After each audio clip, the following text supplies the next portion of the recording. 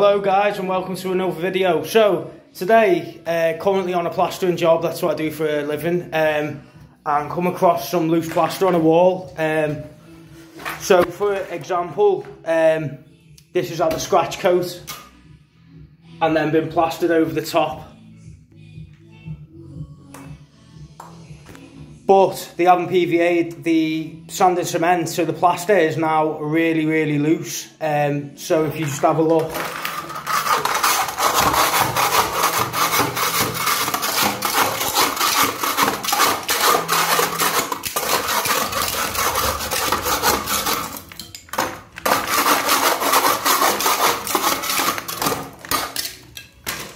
So basically, they haven't PVA'd um, the sand and cement previously when they've done the work, and now obviously the plaster hasn't stuck to the wall.